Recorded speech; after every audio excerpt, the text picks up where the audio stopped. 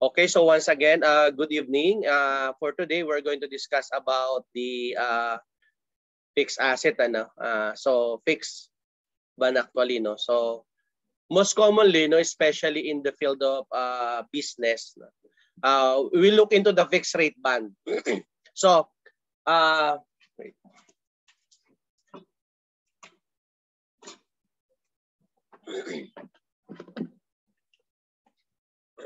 so when we say a uh, fixed rate band, no, it is a bound band, sorry, band that pays the same level of interest over its entire term. So let's say, for example, if you have a five years contract, same 10%, 10%, no? So an investor who wants to earn a guaranteed interest rate for a specified term could purchase a fixed rate band in the form of treasury corporate bond, municipal bond, or certificate of deposit, yung CD, because of their constant in level interest rate. And these are known broadly as fixed income securities. so, uh, fixed rate bond is a debt in instrument with a level interest rate over, uh, of course, uh, fixed rate bonds can be construct contrasted with floating or variable rate bonds. Now, again, as I mentioned earlier, a fixed rate bond is a debt instrument with a level interest rate over its entire term with regular interest payments known as coupons. Now, so upon maturity of the bond, holders will receive back the initial principal amount in addition to the interest paid. Typically, long-term fixed rate bonds pay higher interest rates than short-term ones. Of course, now, a, a, a fixed rate bonds is a long-term debt instrument that pays a fixed coupon rate for the duration of the bond. Uh, the fixed rate is indicated in the trust indenture at the time of issuance and it is payable in specific dates until the bond matures. So the benefits of owning a fixed rate bond is that investors know with certainty how much interest will earn and how, for, for how long. So as long as the bond issuer does not default or call in the bonds, the bondholder can predict exactly what his return of investment will be. So a key risk of owing fixed rate bond is interest rate risk on or the chance that bond interest rates will rise no? Making an investor's existing bond less valuable. Let's say for example let's assume an investor purchase a bond that pays a fixed rate of 5%, but interest rate in the economy increased to 7%. And this means that new bonds are being issued at 7% and the investor is no longer earning the best return on his investment as he could because there is an inverse relationship no? Between bond prices and interest rates. So the value of the investor bond will fall to reflect the higher interest rate in the market. And uh, if the if he wants to sell his 5% bond to reinvest the proceeds in the new 7% bonds he may do so at a loss because the bonds market price would have fallen. So the longer the fixed rate bonds term the greater the risk that interest rates might rise uh, and make the bonds less valuable. So if interest rates decrease to 3%, however, the investor's 5% bond would become more valuable if he were to sell it since a bond's market price increases when interest rates decrease. Again, if interest rate decrease, huh, decrease to 3%, However, the investor's 5% bond would become more valuable if he were to sell it. Why? Since a bond's market price increases, when interest rates decrease, the fixed rate on his bond in a declining interest rate environment will be a more attractive investment than the new bonds issued at 3%. Okay, so uh, I just want to play a video presentation of our presenter for this evening.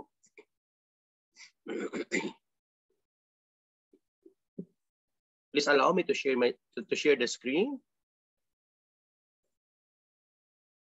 If you're going to play a video presentation, don't forget to look uh, with a share sound or computer sound.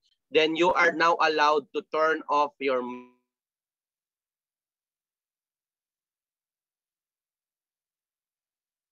For today's video lesson, I will discuss Good evening everyone. For today's video lesson, I will discuss the terms and definition of bond. So, bond is the interest-bearing security which promises to pay, which is stated amount of money on the maturity date, and the regular interest payments called coupons. So, sa bond, aside from the face value of the amount, may makukuha kang coupons. So, coupon is the periodic interest payment that the bondholder receives during the time between purchase date and maturity date, usually received semi-annually. So, the coupon rate is the rate per coupon payment period denoted by R. The price of the bond, the price of the bond at the purchase time denoted by P. Oh, the par value or the face value is the amount payable or the maturity date denoted by F. Remember that if the price of the bond is equal to the face value, the bond is purchased at par. And if the price of the bond is less than from the face value, the bond is purchased at a discount. And then if the price of the bond is greater than the face value, the bond is purchased at premium and the term of the bond is a fixed period of time at which the bond is redeemable as stated in the bond certificate. Number of years from time of purchase to maturity date. So the fair price bond is the present value of all cash inflows to the bondholder. So that is the terms, different terms of the bond. For example, Determine the amount of the semi-annual coupon for a bond with a face value of 300,000 that pays 10% payable semi-annually for each coupon. So the given is the face value is 300,000 and the coupon rate is 10%.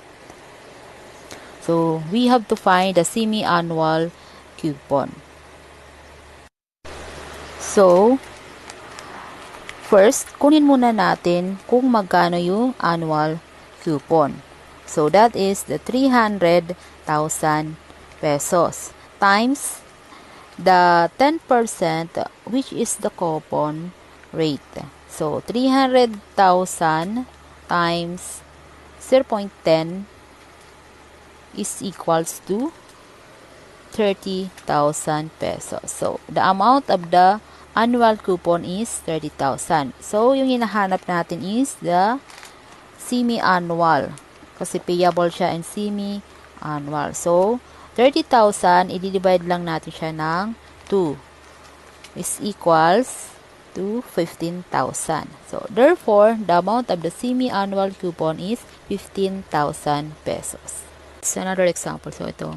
Let's say si Company A gusto magtayo ng nego ng condo. So, to raise the money for the construction of the condo, she offered a bonds. Okay. And then, si Mr. X, si Mr. X, siya yung bond holder. So, siya yung magpapahiram ng pera kay company A.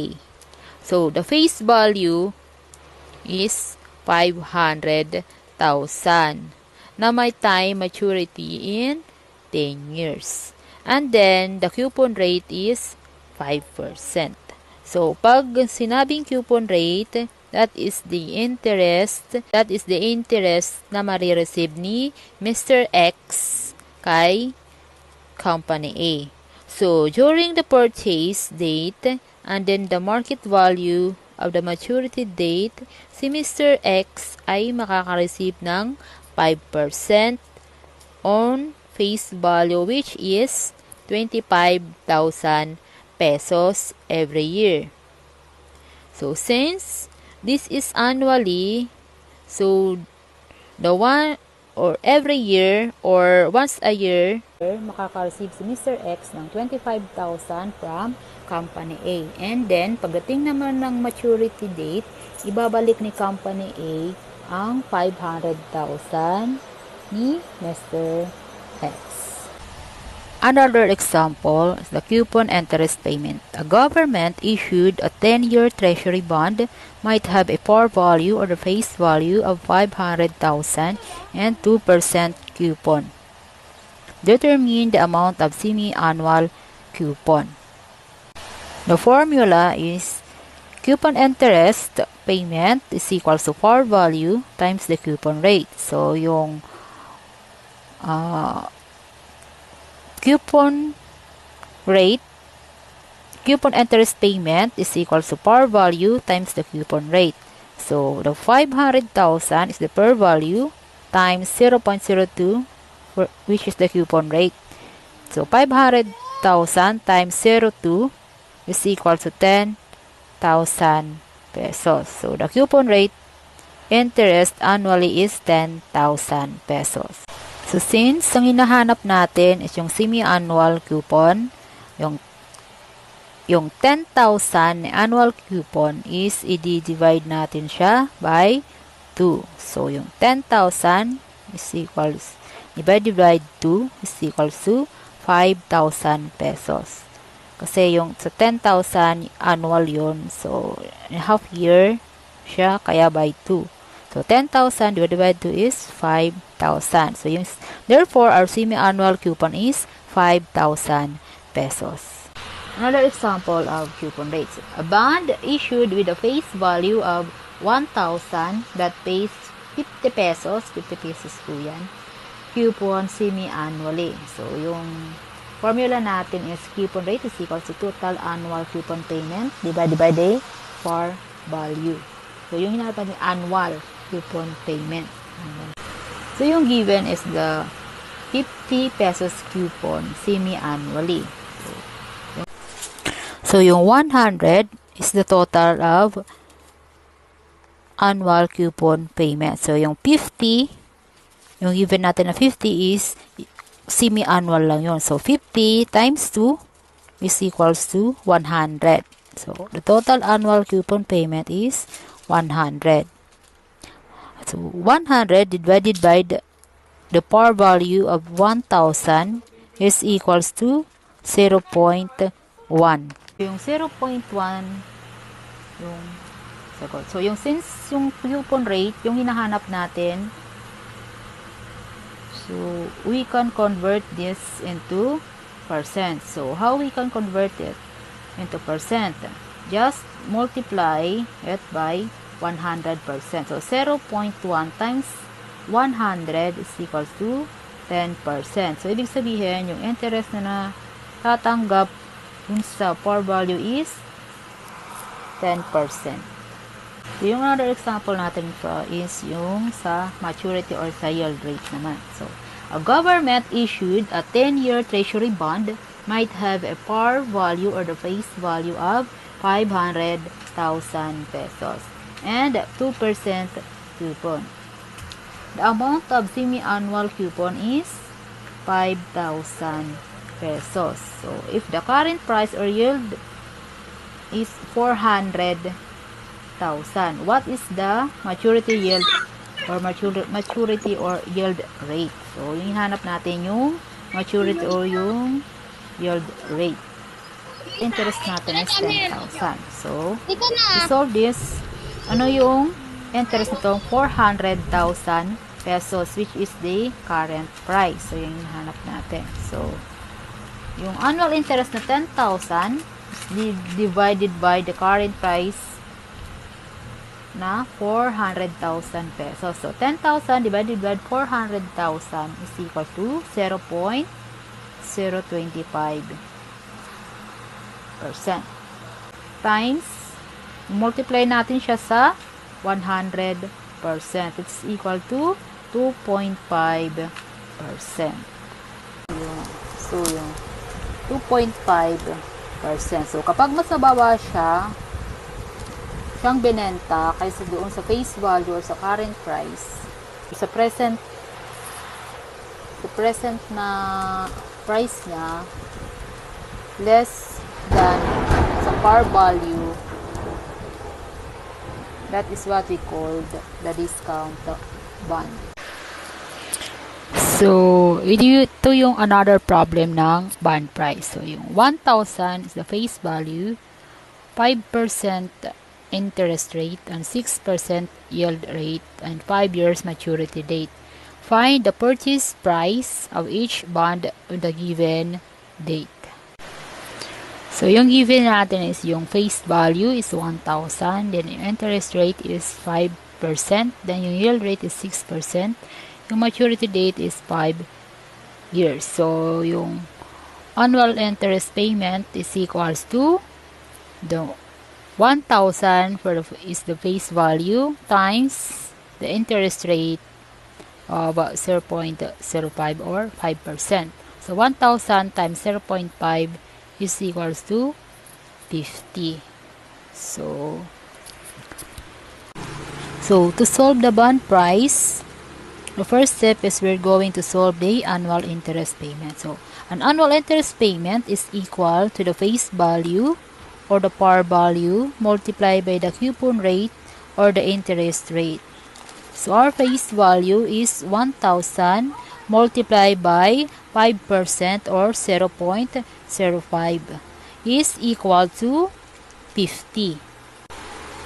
At next, once na meron ka ng annual interest payment, ang sunod na gagawin mo na is, you're going to get the sum of the quotient of the annual interest payment and 1 plus the appropriate yield at to maturity. So, since we have 5 years, so that it is equal to the bond price is equal to the quotient Again, we're going to, to get the sum of the quotient of the annual interest payment.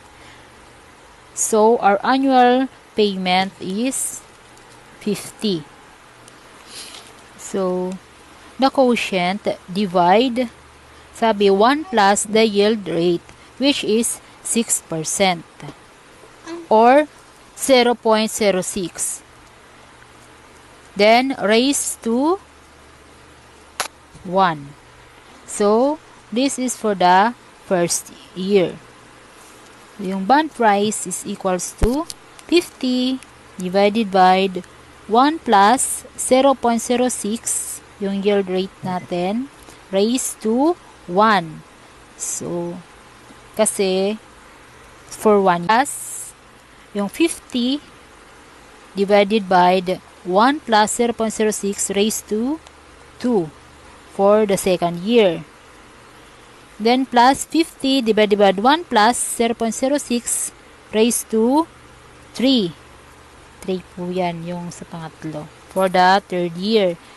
Then 50 divided by 1 plus 0.06 raised to 4 for the 4 years. So, pip, pagdating sa dulo, sa pang 5 sa 5 na pang 5 years, Isasama na natin yung 1,000 na par value plus the 50%, 50, no, the 50 annual interest payment. So, 1,000 plus 50 divided by the 1 plus 0.06 raised to 5. And then, yung 50 is divided to 1 plus 0.06 raised to 1 is equals to 47.01698. So, ipa-plus mo lang siya. Ipa-plus mo lang din yung lahat ng uh, sagot sa price. Then, yun na, yun na yun yung purchase price ng bond. Yun lamang po. Thank you.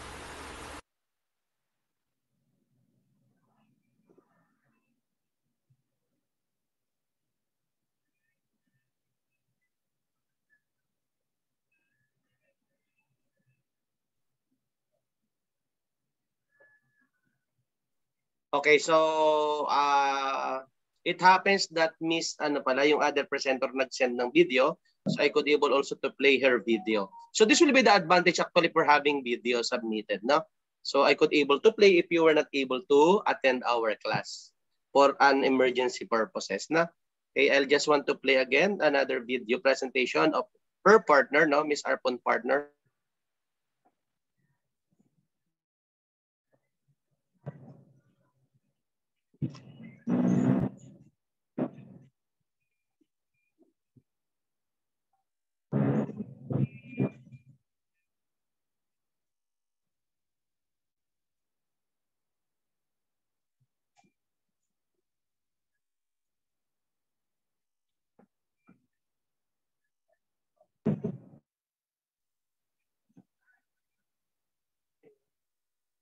Suppose that a band has a face value.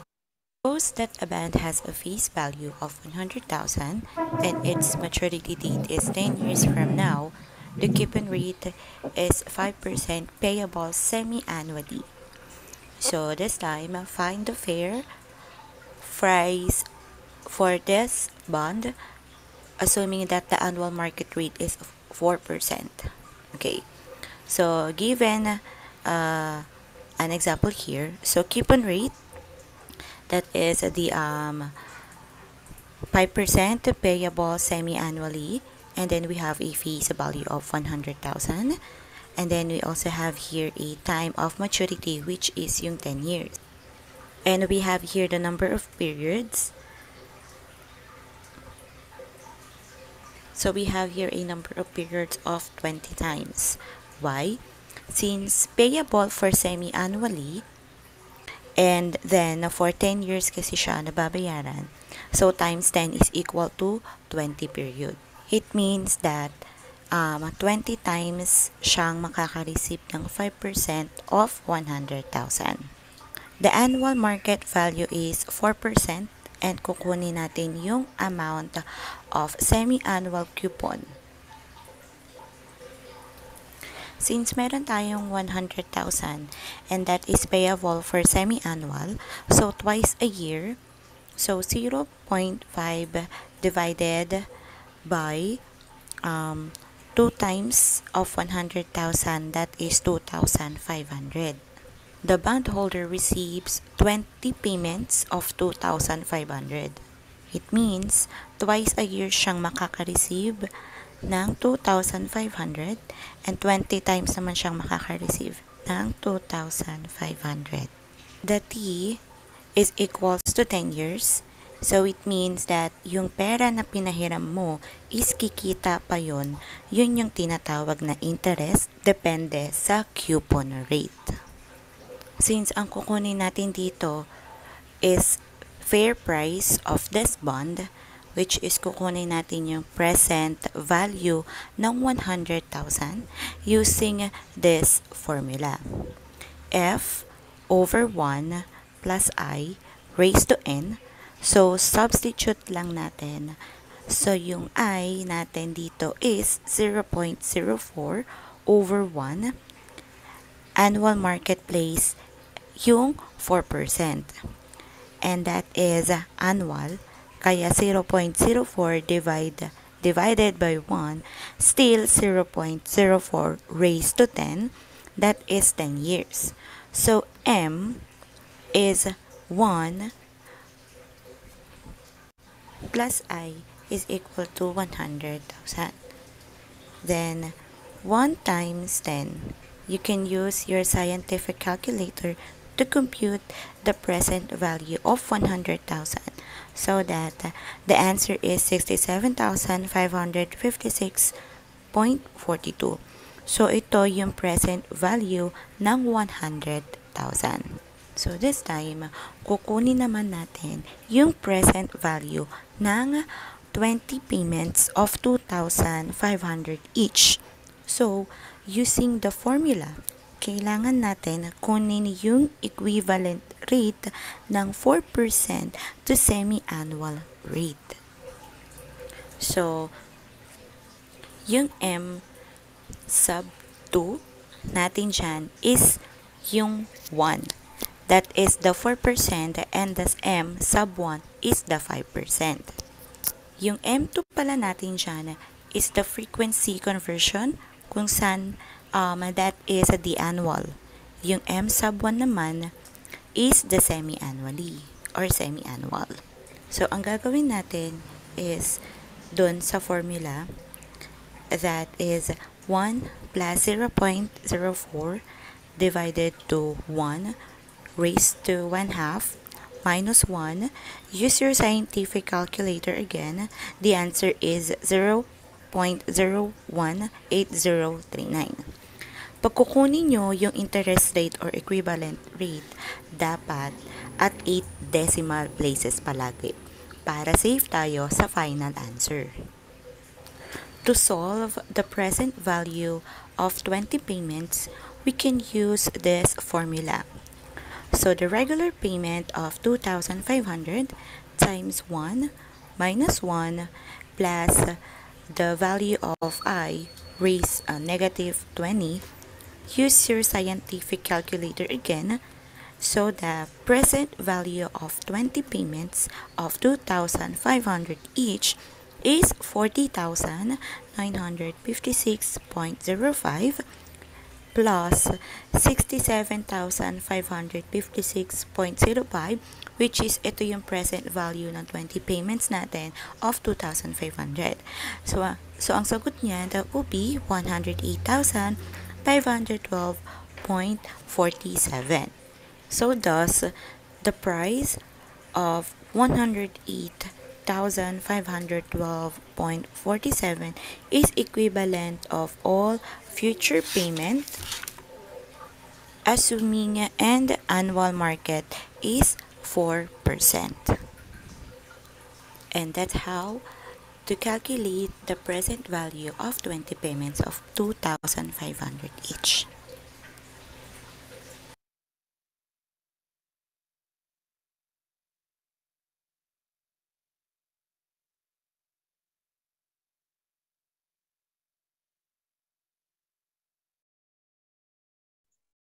Okay, so this time I'll just want to give you additional inputs no related to the subject.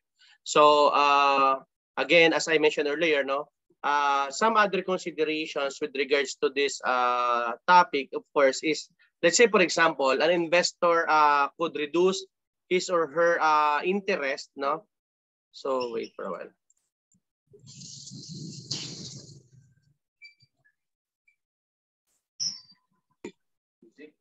Okay, so again, uh, an investor could uh, reduce his or her interest rate by choosing a shorter bond term. No, uh, he would probably earn a lower interest rate.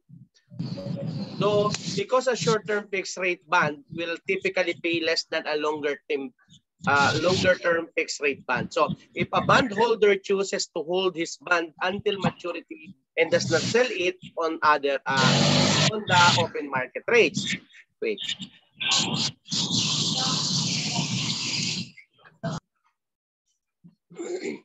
Okay, so so as I mentioned,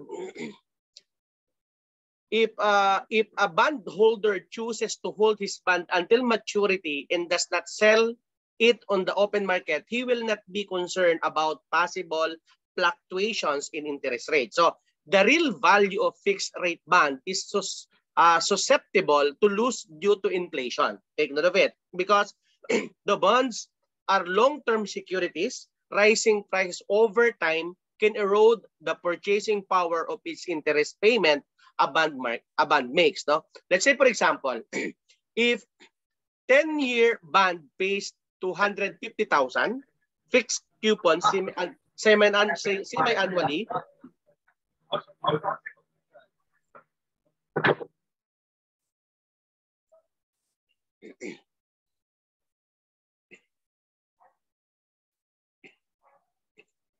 Okay?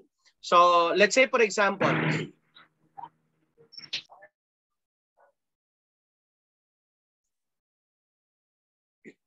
Okay, so once again, again, no, uh, I'll give you an example, no. Uh, if a 10 uh, 10 year band, no, 10 years, no, pays 250,000 pesos fixed coupon semi-annually. So it means every every six months, no? In five years. So the real value of the 250,000 will be worthless today. So when investor worry that a bond's yield won't keep up with the rising cost of inflation, the price of the bond drops because there is less investor demand for it. Again, a fixed rate bond also carries liquidity risk for those investors who are considering selling the bond before its maturity date. This risk occurs when the spread between the bid price and ask price or asking price of the bond is too wide. So if this occurs and the bond holder is asking no ask ask price for more than investor want to pay or yung bid price, then the original holder may be placed in a scenario whereby they sell the security for a loss or significantly reduced rate, thereby sacrificing liquidity. Okay? So, I just want to give you an additional video presentations on how you'll be able to, uh, I think, to give you more uh, discussions about the bond investing 101 because a while ago uh, I, I will able to see a questions no uh, of your classmates uh, relating to uh, the difference or if it, it, if bond price formula is same with the dividend discount model formula. Of course not. But uh, to give us more details about this, I'll just want to give you the bond 101 discussions, a video presentation, of course, related to this uh, topic. Okay? So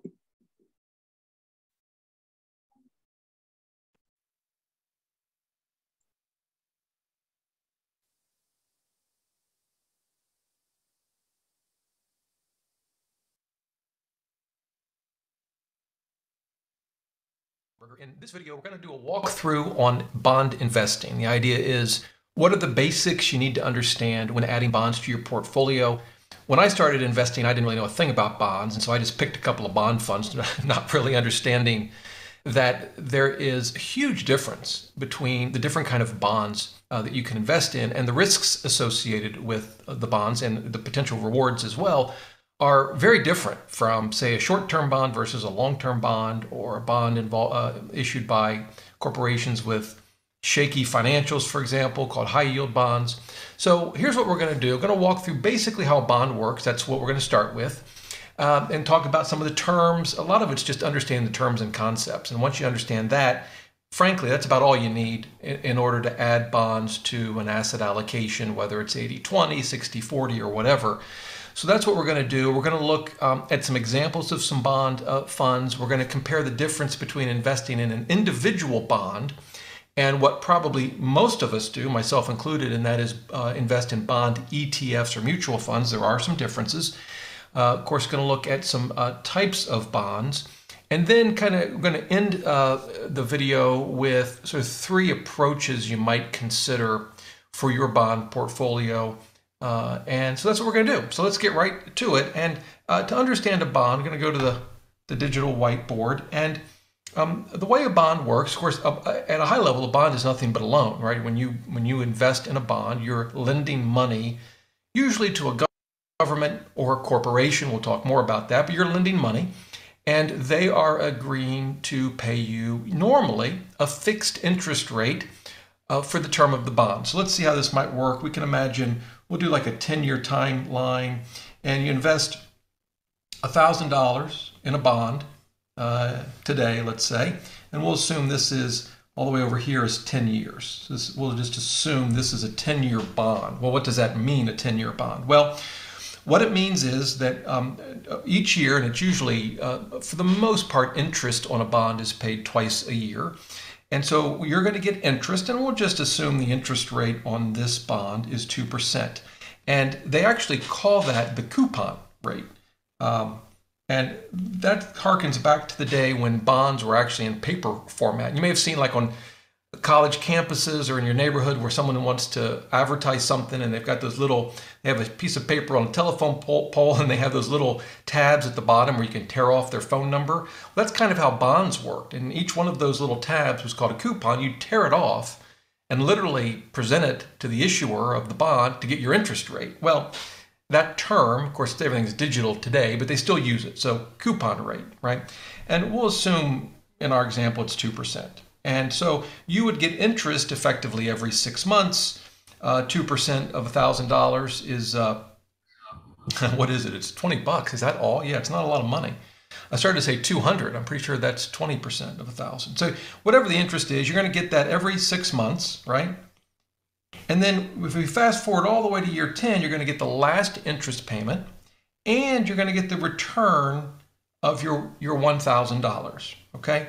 And uh, so some of the terminology they would use, they'd say um, the 10 years, they would say this is, this is the maturity. This is when the bond matures, which is just the term they use for saying, all right, the term is up. Here's your last interest payment and here's your $1,000 back. So you could think of this as most bonds as interest only right? And then the principal gets paid back at, at the end. So in this case, you know, it's a 10 year bond, has a, a, maturity of 10 years. You're going to get interest typically every two months, and uh, uh, excuse me, twice a year. And then at the end of the term, in this case, 10 years, you get your money back.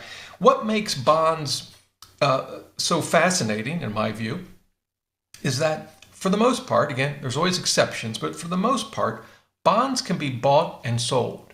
So if you own a bond you could, at any point in this 10 year period, right, you could decide to sell your bond. And that raises um, two important concepts. Because you might think, well, what would I sell it for? What would be the price? I guess it'd just be $1,000, right? I mean, that's the, that's the amount of the bond. They actually call this the par value, right? It's a thousand bucks. Um, so I assume if I want to sell it, or if I wanted to buy a bond like this, I'd pay a thousand bucks, right? Well, no, not so easy. Uh, it turns out that the, the value of a bond will fluctuate during, in this case, the 10 years of its life. And there are two risks uh, associated with bonds, or actually more than two, but two that I think are most important for us. One is called credit risk, and one is called interest rate risk. Uh, credit risk is simply the risk of default, right? It's the risk that whoever you've uh, lent money to, it won't pay you back. They'll either miss one of these interest payments, one or more, or they'll default at the end and they, they fail to give you uh, some or all of your principal back. So that's the risk of default. Now, in the world of bonds, the general wisdom is that US government bonds have zero risk, that worst case scenario, the government can just print money and, and, and, and pay back bonds, which I guess is kind of what they're doing. Uh, in any event, uh, US government bonds are, are viewed as having no risk. We're going to look at some other bonds, though, where credit risk, the risk of default, is very real. And we'll talk about that in just a little bit. That's the first risk.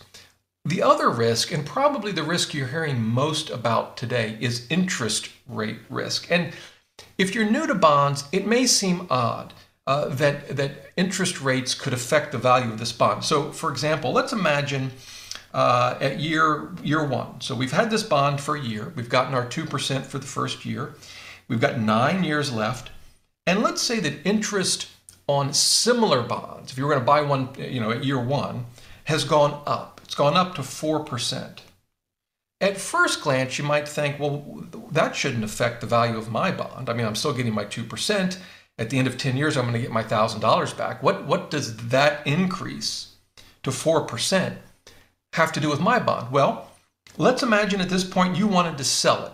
You advertise your bond and you want to charge a thousand bucks, right? That's the par value. Well, why would why would folks buy that? Let's imagine you wanted to buy a bond and someone was selling a $1,000 bond at 2%. And you say, well, wait a minute, why would I buy your lousy 2% bond I can go out in the market today and get 4%. And if we think about it, like, oh yeah, that's that's a pretty good point. So if we really are in desperate need and we want to sell this bond, what do we have to do? Well, we have to discount it, right? We have to lower the price. How much? Well, enough so that the effective uh, yield on the bond is 4%. And the way this works, and there's math behind it, math that I've never bothered to, to dive into because it's not important for the vast majority of, of investors. But the idea would be we want to lower this enough so that the effective yield is, is 4%. So let's just imagine that number. I'm just going to make a number up, but let's just imagine it's $950. So let's say you're the new owner, you've bought this bond at year one and you paid 950 for it. Um, you think, well, so now I start to get 4%, right? No.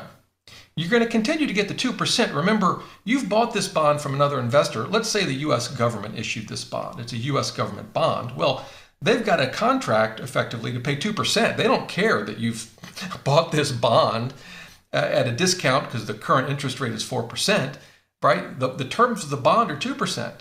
So you're going to get 2% on what?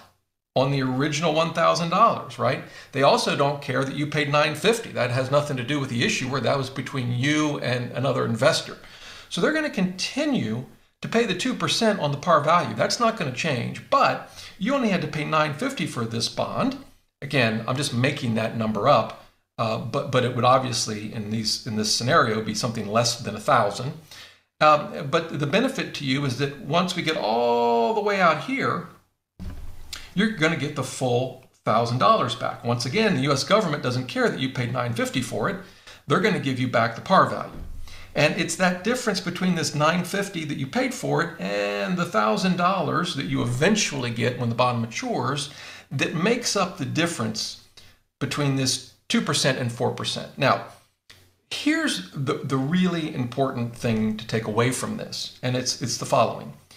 As interest rates go up, the value of existing bonds go down.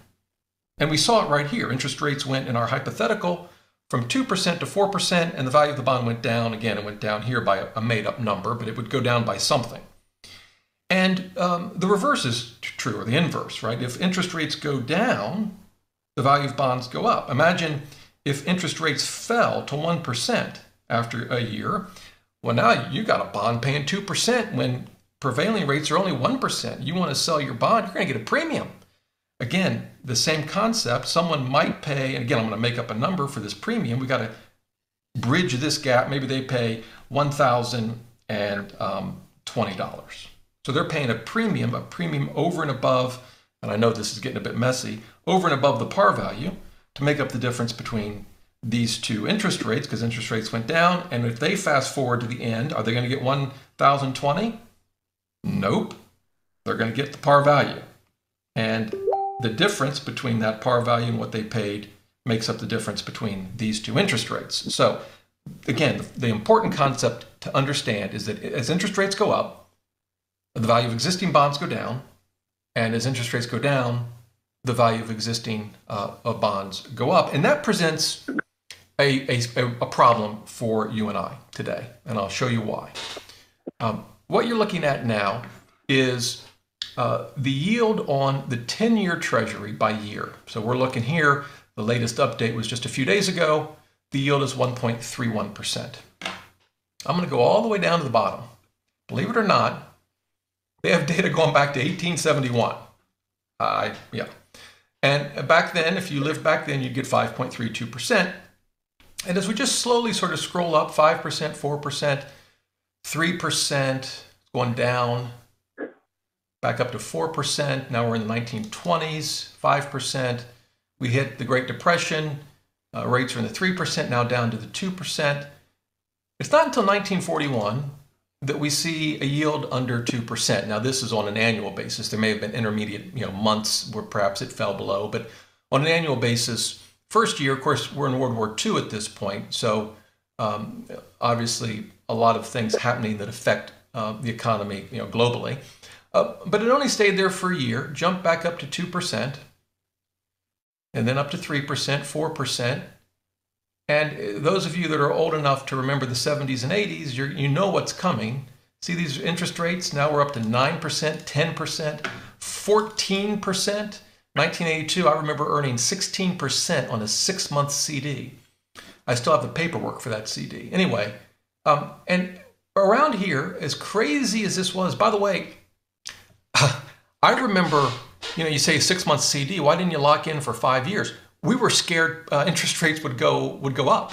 Who wants to lock in at 16% for five years if rates go, you know, 20%? I know it seems crazy by today's standards. In any event, um, we enter uh, what many call like a 30 plus year bull market on bonds, which basically means uh, the yields were going down as prices go up. And we see that we're still in the eights, the sevens, um, sixes, now we're in the fours, the threes, and uh, back now for the first time since 1941, 2012, we're under 2%, pops back up. But then, as we all know, uh, 2020, uh, 176.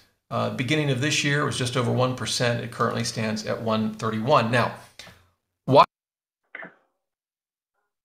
The greenest urban estate is about to rise in the east side of Metro Manila. Welcome to Parklinks.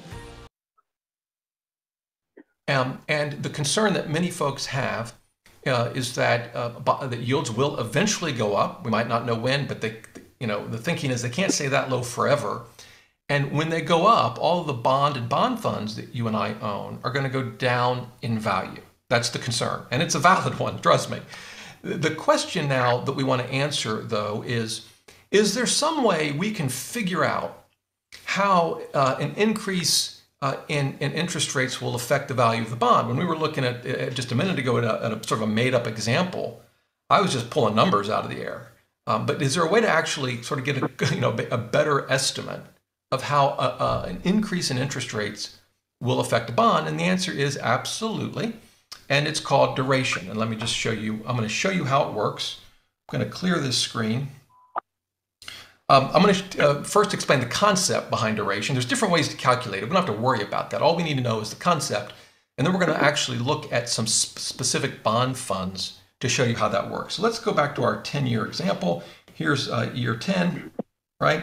And we've got our bond. We're going to invest uh, $1,000. And it's a, we know the maturity, right? The maturity is 10 years. That's great. So um, the idea of duration, the concept is to figure out uh, the average amount of time it will take to get our money back. And at first, uh, when I was learning about these concepts, I thought well, that doesn't make any sense. We get the, we get we get our thousand dollars back here year ten.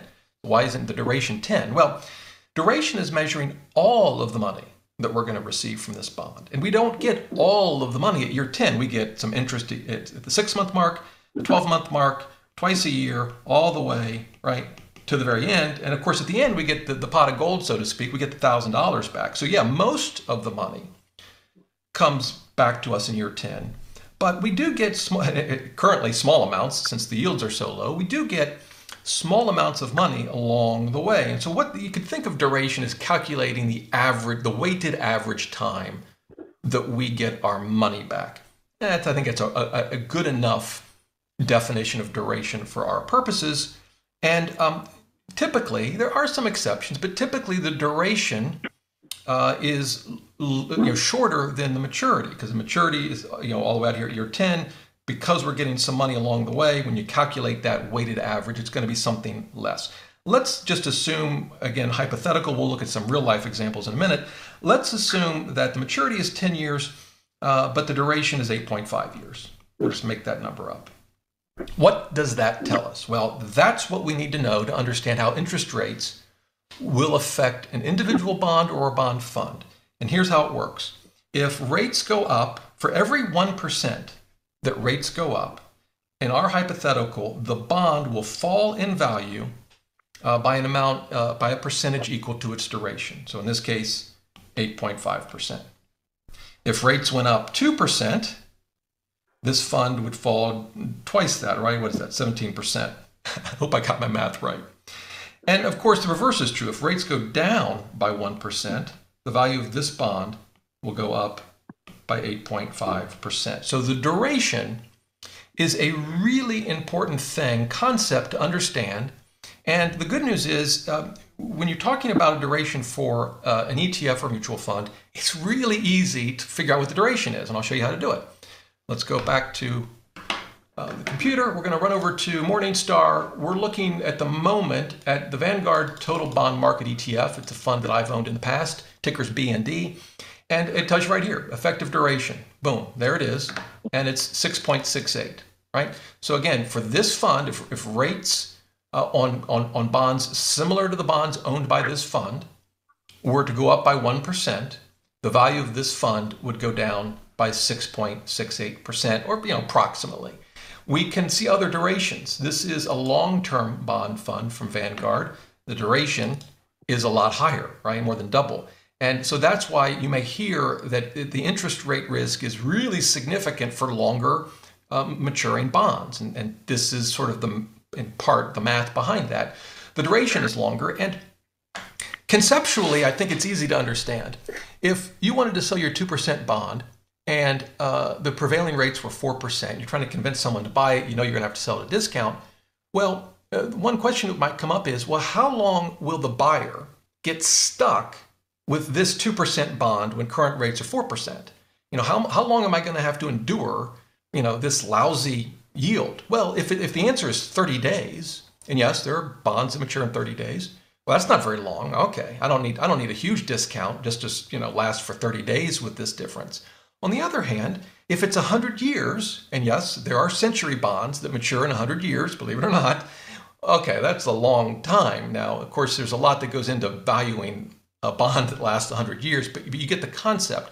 Uh, the longer the duration, uh, the longer you're sort of stuck with that lower interest rate, the more you're going to want to discount that bond before you're willing to buy it. So that's sort of the, the basic concept behind it. And as we see here, you can easily find the duration of any bond, ETF, or mutual fund right here in Morningstar. Uh, very, very easy uh, to figure out. Now, this raises another uh, question. So if interest rates go up uh, and the value of a bond goes down, well, what if I own a bond and I just don't sell it? I mean, okay, the value of the bond has gone down, um, you know, but but what do I care? I'm I'm not selling it. And can't the same thing happen with the mutual fund or an ETF? And this is where it's important to understand the difference between a bond and a bond fund. Let me go back to the digital whiteboard. We're going to clear it. If you think about a bond, uh, again, we'll use 10 years and we'll assume a duration of 8.5 years, again, making that number up. And we're right here, we buy the bond, it's $1,000. Sorry for my poor handwriting. Um, one thing to keep in mind is that these numbers change over time, right? So after a year, it's no longer 10 years until maturity, now it's nine. And the duration is whatever. We'll just assume 7.5. It doesn't go down, you know, year by year. It changes a little bit over time, but we'll just assume for the moment the point is, as a bond matures, right, and we move closer to that 10 year mark, uh, the maturity goes down and the duration goes down. And so, what, what that means is, over time, the interest rate risk of a bond also goes down. And so, you, you imagine if we're right here and interest rates plunge and our bond's only worth $950, well, well, just hold on to it. I mean, because you know, again, if we can if we can last all the way to year ten, we'll still get our thousand dollars back, and we haven't really lost any money. Uh, that's how an individual bond works. Now, there's some things to understand about that, which we'll get to in a minute. But let's compare that to a bond fund. We're going to go back to Vanguard's. How many bonds does the Vanguard Total Bond Market Fund actually own? Well, we, we can figure that out. The number may surprise you. Here we go, bond holdings. 18,481 bonds. I mean, they are busy over at Vanguard. Can you imagine managing that portfolio? I'm guessing they use computers. Anyway, they are dealing with a lot of bonds. And unlike an individual bond that you and I might own, um, Vanguard isn't just holding these bonds until they all mature and then shutting down the fund. They're constantly buying and selling bonds so that they can maintain an average uh, duration and maturity in line with the goals of the fund. In this case, given the maturity of eight and a half years and the duration uh, of 6.68, I would call this an intermediate term bond fund. There's short term bond funds, intermediate term, and long term. This, I think, would fall into the intermediate term category. And so they're constantly buying and selling uh, bonds to maintain some range of maturity and duration. And if interest rates go up, well, they still have to do that. So they're still selling bonds and taking losses. And at first, that may seem like a really bad idea. Why, why lock in the losses? Just maybe we should just buy individual bonds. Well, there's at least two reasons why individual bonds, pro- probably for most of us, not a great idea. The first, first off, it's a real pain to start trying to buy, buy individual bonds. Um, it just, it just, as a practical matter for most folks, it's just, it's not going to work. But the other thing is, there's, a, there is a silver lining when a when a fund um, sells a bond even at a loss, and it's simply this: interest rates are going up. Yes, they're selling some of their bonds at losses, but they're replacing them, right? And what are they replacing them with? Well, bonds that are now have that higher yield, because remember, interest rates are going up. So if they're buying new issues, they're getting uh, bonds with a higher coupon rate. If they're buying uh, bonds in, in, in, the market because interest rates are going up, they're going to get a deal such that the yield is going up on the fund overall. Now, that in, uh, increased yield won't offset the losses that a bond fund incurs overnight. It can take some time, it can even take years. How long it takes, that sort of crossover point, depends uh, uh, largely on well, what interest rates do, but the duration of, of the fund. But eventually, you sort of earn your money back, if you will, through higher yields. So um, yes, you can buy individual bonds. It's it's a real chore, except for maybe I bonds. We'll talk about that in a minute. Um, but I really think for most of us, and certainly for me, um, ETFs and mutual funds are the way to invest in bonds. Yes, they can go down in value uh, when interest rates go up. How much? Uh, they'll go down, depends on their duration but over time they will make that back up eh, with higher yields on the new bonds that they are, are, are buying. So I know it's sort of a lot to digest, but I do want to point out that there is a difference between a bond and a bond fund. Um, and uh, two things I want to show you uh, before we move on. The first is this box. They call it the style box. They have these for stocks, which you may have seen, but they also have them obviously for bonds over at Morningstar. And what this tells us, the, the, the horizontal tells us the interest rate risk. Is it limited? Is it moderate? Or is it extensive? So limited would basically be short-term bonds. And I think I might have an example. Let's see. Yeah. So this is a Vanguard short-term bond fund, and you can see the box that's colored is in the limited column, and that makes sense. We see the duration is only 2.79 years, so that's limited. Uh, we were looking at uh, the the total bond market fund, it's got mo- moderate interest rate risk. If we go to long term bond fund, it's extensive. So that's what those three mean uh, across the top. Uh, down the side, this re- references what we talked about earlier credit risk, the risk of default. And the way they look at it is what's the quality, the credit quality of the bonds? Is it high? Is it uh, sort of in the middle or is it low? So, in terms of safe bonds, you want something in the high range. And if we go to, here we go, this is um, Vanguard short-term inflation protected securities. So these are TIPS issued by the US government. So as you would expect, credit is high. What about bonds issued by corporations that kind of uh, are below investment grade, maybe have shaky financials? Well, that would be a Vanguard high yield corporate fund. And you can see the credit quality is low. So that's what those, uh, that's kind of how to read the style box. Now, um, I want to show you one other thing before we move on. And these are called BulletShares. They're issued by Invesco. And now it's making me answer some questions. I, I mentioned this uh, just because it may be of interest to you. You remember I, I mentioned with an individual bond, if interest rates go up, you could just hold the bond if you want to to maturity and you get all your money back. I still kind of view that as a loss because you're giving up opportunity, right? Uh, but that's how an individual bond works. And as I mentioned, with funds, uh, you know, they're constantly buying and selling. So if interest rates go up, at least at least initially, you're going to take a hit. Well, are there are there funds that allow you to invest easily in hundreds, if not thousands, of bonds, but actually work like an individual bond, where they don't buy and sell, and you just hold the fund until maturity, and at maturity, uh, the fund basically shuts down and gives you your, you know, last interest payments and the rest of your principal back? And the answer is, yep, BulletShares. And they have corporate bond funds. I didn't mean to click on that. Let me go back. They have high yield corporate bond and they have emerging market portfolios. And they also have municipal bonds, which we haven't talked about yet, but uh, we'll come back to that.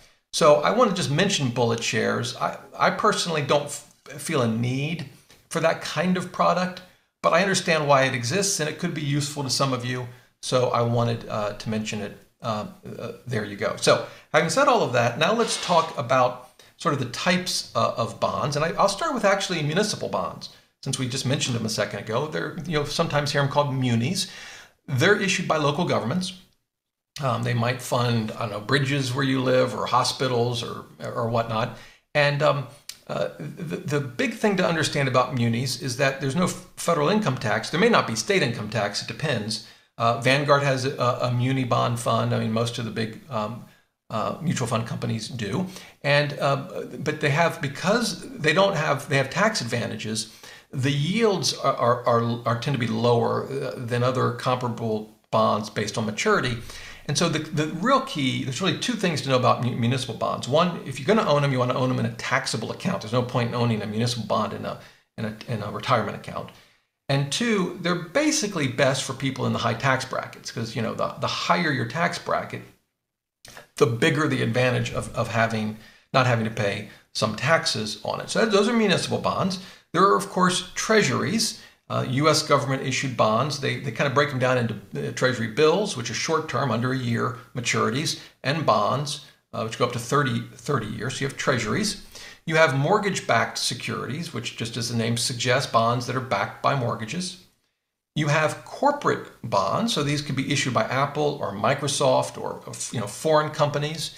Uh, but you have corporate bonds. Um, a, a part of the corporate bond you have are what are called high yield corporate bonds. And let me actually show you those. We looked at them briefly.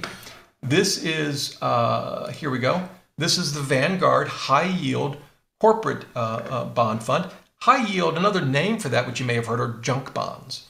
Now, junk bonds, I, I, I don't like, I don't, it's kind of a cool name. I don't like it because it suggests they're junk and they're not.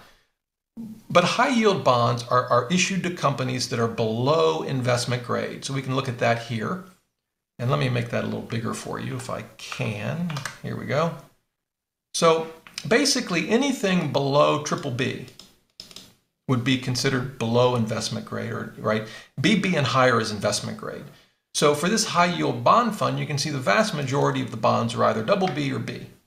Uh, there's some that are below B, not a lot. Um, and there's actually a little bit that's, that's a investment grade, but the vast majority falls into this category.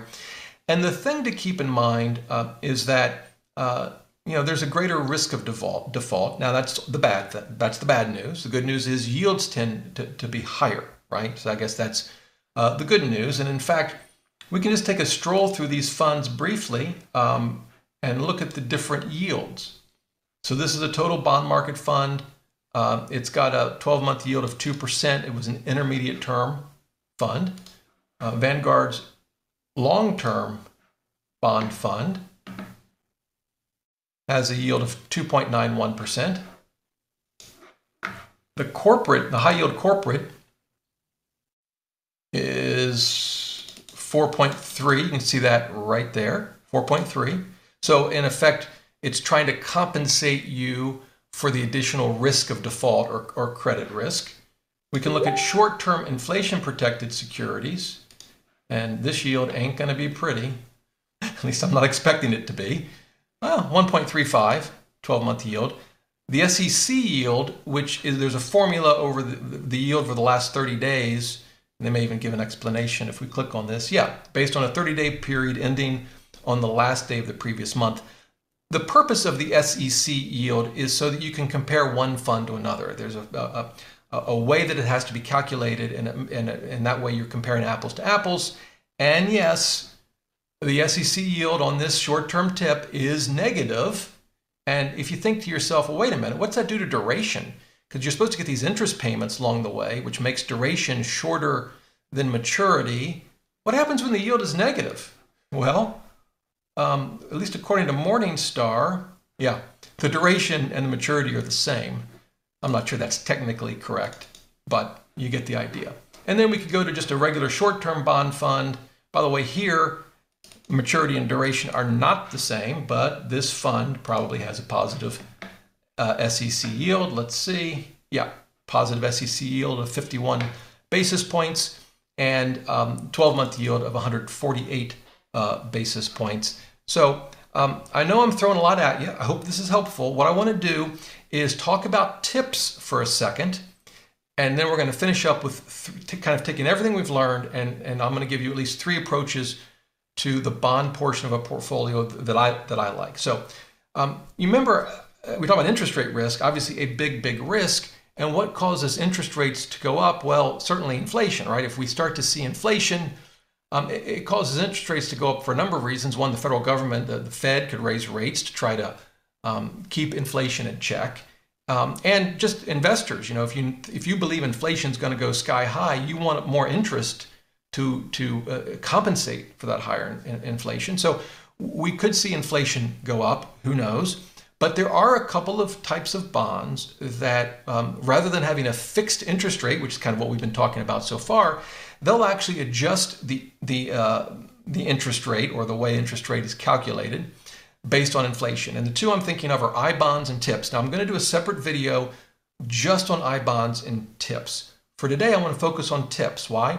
Because I bonds can't be purchased as part of a mutual fund. You, you have to buy them direct for the government and you're basically limited to $10,000 a year. So when you're trying to do an asset allocation in a portfolio, yeah, you may own some I bonds, but it's kind of hard to, to, to really use them effectively as part of a 60 40 or 80 20 or 90 10 portfolio. So the idea of tips, I want to talk conceptually uh, is that if, if inflation goes up, there's an adjustment that gets made to tips. It's the, they actually adjust the principal amount of the tip, the, the par value, sort of, rather than the interest rate itself. But the mechanics don't matter. If interest rates uh, go up, uh, what you earn from the tip can go up too. It can protect you from inflation the way to think about a tip is that it's just like a treasury, but they've they've added an insurance policy. Now it's not literally an insurance policy, but I think this conceptually is an easy way to understand it. They've said, look, we're going to give you this insurance policy. So if inflation goes up, you'll get more from this bond. If you buy a treasury, you get whatever the the, the, the rate is. You're not going to get more. But with tips, you got this insurance policy, uh, and um, you know you could get you get more when, when there's inflation of course, as you know, there's always a catch. There's a cost uh, to that insurance policy, right? The, the, through the yields on tips, there's a cost. That's why we saw just a moment ago the current yield on the on the particular tip fund we were looking at was negative, right? So you're paying for that that benefit. Nothing's free in life, right? There's no free lunch. So you're paying for that insur- that inflation protection. And the question becomes, well, will it pay off? I mean, is it work? Should I buy that insurance or not, right? Well, the short answer is no one really knows. If inflation ends up being more than we expect, we being the market, yeah, you, you would have wanted the policy, tips will pay off. Um, if it turns out to be lower than expected, you've just wasted your money on an insurance policy and you'd have been better off with just a regular old US Treasury bond. Now, the question becomes well, okay, well, what should I do? We're going to get to that in just a minute when I talk about the three approaches to bond investing. Before we do that, I want to show you one more thing that you may you know, may find useful. Fred, right? This is um, an economic. This is a basically a database. Um, it's from the St. Louis Fed. You can see that. Uh, I think you can see that up here in the URL.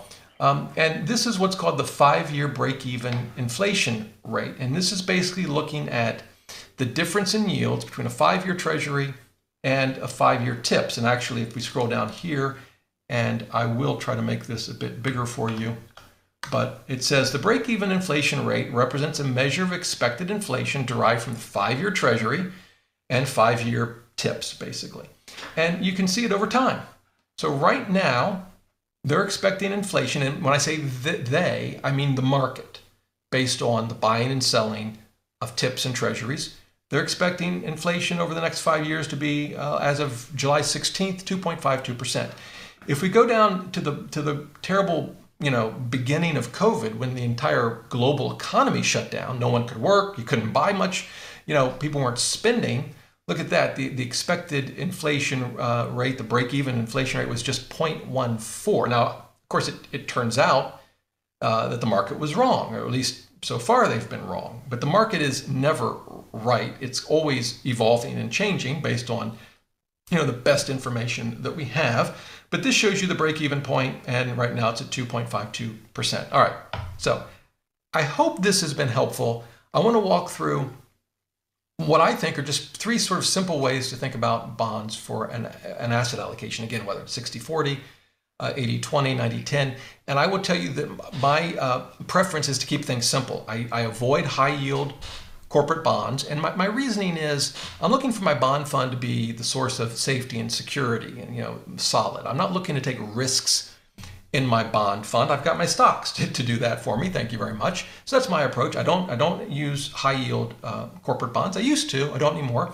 Don't generally get into emerging market debt funds either for the same reason. And generally, um, I, I don't even bother with international bond funds. I will tell you that I'm starting to look at those things a little more given the terrible yields that we have right now, but frankly, they're bad everywhere. So uh, that's just my approach. So given that, um, I'm going to show you th three approaches to, to, your, to your bonds. We've looked at, looked at some of them. The first one, something I did for many years, is just uh, you know the Vanguard Total Bond Market Fund. And if you're at Fidelity or Schwab or wherever, they're going to have similar funds. And um, it's just one fund and you're done. That's your bond portfolio. I think this is a perfectly reasonable approach. It's an intermediate term uh, bond fund. I like that. I'm, I'm, I'm just too risk averse on in the bond portfolio to go with long-term bonds. Uh, and that's hurt me at times. Long-term bonds have performed extremely well in recent years. If we look at the portfolio, though, of this bond, again, we've looked at this, the duration, about 6.68 years. So that's an intermediate term uh, bond fund. Here's what I want to show you. This is These are the types of bonds it owns. About half of it is government bonds. Uh, it's got about a, a quarter in uh, corporate and securitized. I'm guessing, I think these are mortgage-backed securities. Uh, I'm pretty sure. I'm sure some of you will correct me in the comments if I got that wrong, but I'm guessing that's what that is.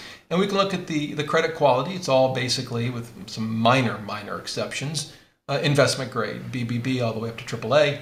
And um, so you get, you know, you get a mix of corporate, um, government, some mortgage back. Now, the one thing you won't see in here are tips.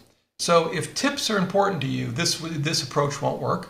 Uh, I've got something else for you guys in a minute, um, but this I think is a perfectly uh, good uh, approach. The second approach would be uh, just a U.S. government bond fund, and so um, let me show you one, and I just realized I don't have it up, so we're just going to Google it. Vanguard, uh, we'll do inter intermediate term U.S. government bond ETF. It could be an ETF or mutual fund. And here it is. Let's pull it up in Morningstar, VGIT. You could also do short term. Again, it's a trade-off. Short term, the interest rate risk isn't as much. Intermediate term, uh, there's a little more interest rate risk, but you also have potential for more yield. I tend, right now, I'm kind of split between short term and intermediate term. Normally, I'm intermediate term. It's just that yields are so low uh, that I've, I've drifted towards shorter term. Uh, so you could do either, but we'll look at this fund as our example. Um, and again, it's all US government bond funds, but I, I think that's perfectly fine. It's got a duration of 5.4. You can see that there. Um, and yep, 99.91% of the fund is in government bonds and uh, 100% in AAA. The 0.02, maybe they've got some derivatives or something in there, I don't know. But the point is, very secure bond fund. So this is a second approach, um, and I think it's certainly a reasonable approach.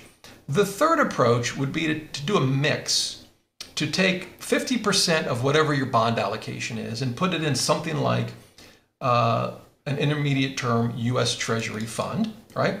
And, and put the other half in tips. I would tend to match the duration. So, for example, if I were going to do a Vanguard intermediate term treasury fund, I would be inclined to do a Vanguard intermediate term tips. If they have that, let's see. Yeah, here we go. Uh, I'm going to actually go over to Morningstar if I can find it. That's short term. Maybe they just, well, they have intermediate term. I'll just look at it at Vanguard. Let's see if we go to portfolio, they'll tell us the duration. Yeah, effective duration is five five point seven years, and it is tips, right? Yeah, intermediate term. No, that's intermediate term treasury. What if they had? They may not have an intermediate term tips fund. Well, in any event, you could do short term, which would be. I'll look that up and leave a note in the comments. Here's a short term fund. The duration is, is of course shorter. Um, but I would take half and put it in, in treasuries is the real point, and the other half in tips and you might say, well, what's the logic behind that? I actually got this from David Swensen. We've talked about the Swinson portfolio. He unfortunately passed away recently, um, but he, he ran the endowment at Yale. And in his sort of recommended portfolio, that's exactly what he does. Half the bonds and treasuries, half the bonds and tips. And the idea is if inflation is higher than we expect, tips will pay off. If it's lower than expected, the treasuries will pay off. And since we don't really know which way it's going to come out, we'll just cover our bases. Half of the bond fund in treasuries, half of your bond allocation in tips. So that's the Swensen approach. I followed that for, for quite a while. My, my only uh, concern about that approach today is that man, the, it's hard for me to stomach putting money in a negative, in, in, a, in a fund with negative yields. Um, even if it does give me that inflation protection, I really have a hard time doing that. But generally, I think it's a, a, certainly a, a, good approach. So there you go. Um, I know I kind of moved through this quickly. There's certainly a lot more we could look at in bonds, but I think this gives you at a high level what you need to know to begin investing the bond portion of, of your, your asset allocation you know, with some understanding of how bonds work. I've given you three approaches uh, to how you might build the bond portion of uh, your, your investment portfolio. Certainly not uh, the only three ways, but I think they're pretty solid. Uh, so if you have any questions, leave them in the comments below. Uh, I would, would love to help you out any way I can.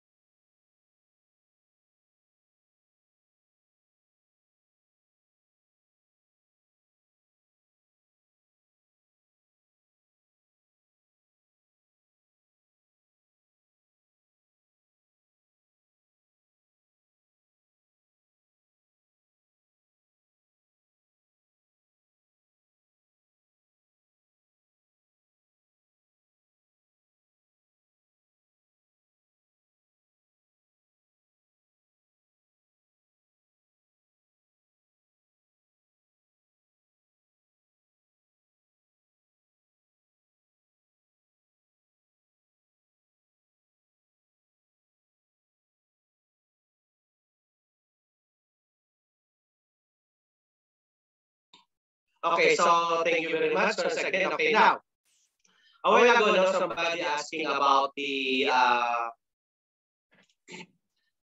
what will be the question, no? Uh, hmm.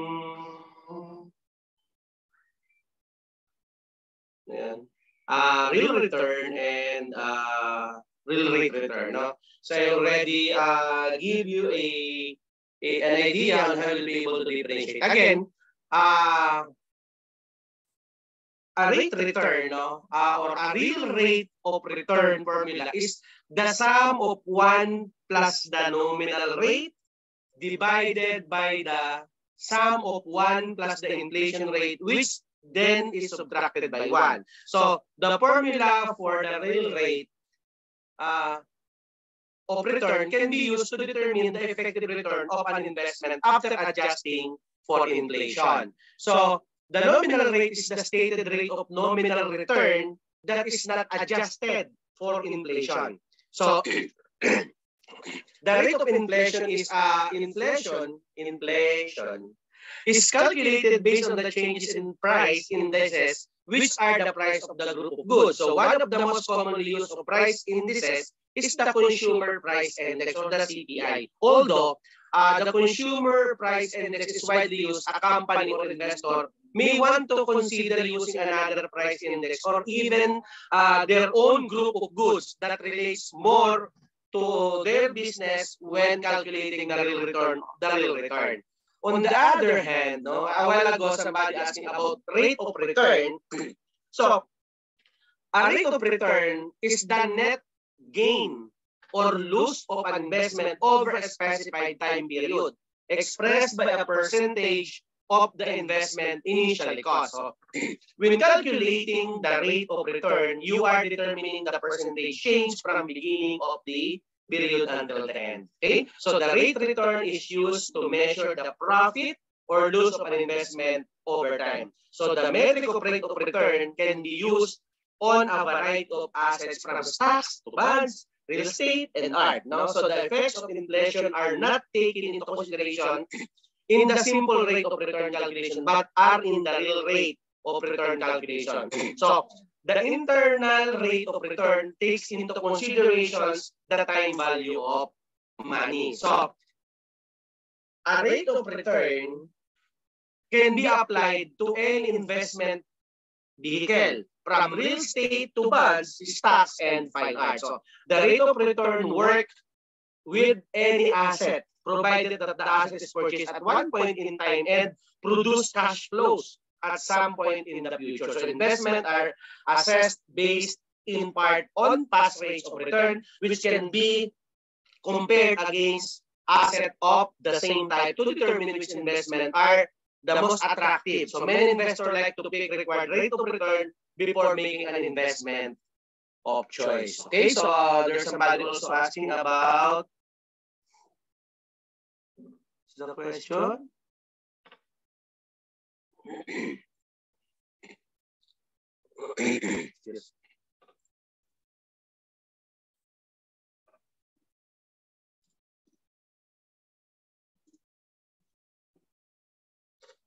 okay, so your classmate asking about another question po, between stocks and bonds, saan mas maganda ang invest, mag-invest? Paano pipili ng tamang bond na dapat bibilhin? So, okay. So again, stocks, no? Give you partial ownership in a corporation. While bonds are a loan, no, from you to a company or government. So the biggest difference between them is how they generate profit. Stock must appreciate in value and be sold later on the stock market, while most bonds pay fixed interest over time. Okay? So it's up to you. Uh, again, uh, lahat naman ng business sumusugal tayo. No? Okay, so again, stocks represent partial ownership or equity in a company. So when you buy stock, you're actually purchasing a tiny slice of a company, one or more shares, no? And the more share you buy, the more of the company you own. And let's say a company has a stock price of 50 million per share and you invest 2,500 million, no? uh, or 50 share for each. No? So now imagine over several years the company consistently performs well because you're a partial owner, the company's success is also your success. And the value of your shares will grow just like the value of the company. Of course, the opposite is also true. If the company performs poorly, the value of your shares could fall below what you bought them for. In this instance, if you sold them, you'd lose money. Again, stocks are also known as corporate stock, common stock, corporate shares, equity shares, and equity security. Companies may issue share to the public for several reasons, but the most common is to raise cash that can be used to fuel future growth. How about the bonds? Now, bonds are a loan from you to a company or government. There's no equity involved, nor any shares to buy. Put simply, a company or government is in debt to you when you buy a bond. And it will pay you interest on the loan for a set period. So after which it will pay back the full amount you bought the bond for. But bonds aren't completely risk-free. If the company goes bankrupt during the bond period, you'll stop receiving interest payments and may not get back your full principals. No? Again, uh, with bonds, you usually know exactly what you're signing up for and the, the regular interest payments can be used as source of predictable fixed income over long periods. So the, the duration of bond depends on the type you buy, but commonly range from a few days to 30 years. Likewise, the interest rate, known as yield, will vary depending on the type and duration of the bond. Okay? So while uh, both instruments seek to grow your money, the way they do it in returns they offer are very very different.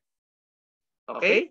So maybe it's too clear now, no, for somebody who asking me about so what will be the best between the uh, uh, bonds and stocks, no? So when you hear about equity in the market, it's two different parts. No? So uh, actually that's typically referring to stocks and bonds respectively. So equity is the most popular liquid no, uh, financial asset. No? So of course, an, an investment that can be easily converted into cash. So corporation open issue equity to raise cash to expand operation and in return, investors are given the opportunity to benefit from the future growth and success of the company. Kaya lang, pag hindi nga naging successful, yun lang ang stocks. So buying bonds means issuing a debt that must be repaid with interest. No?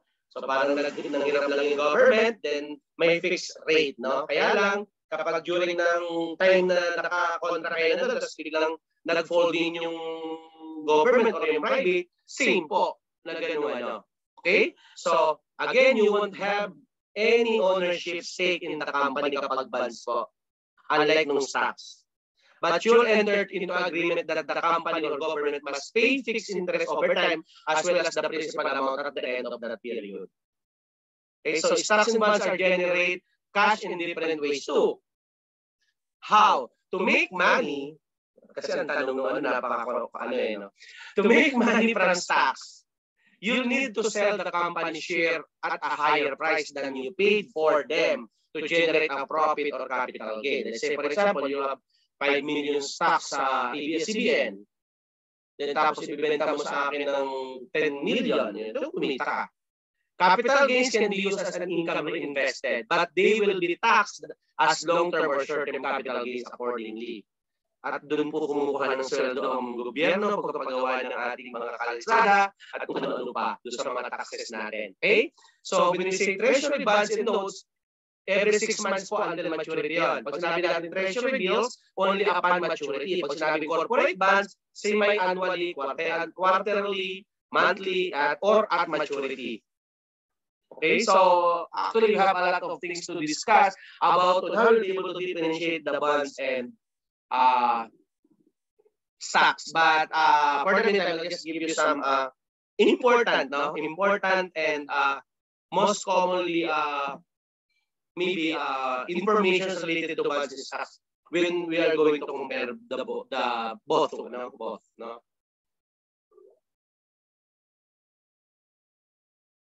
Okay, so I think that's it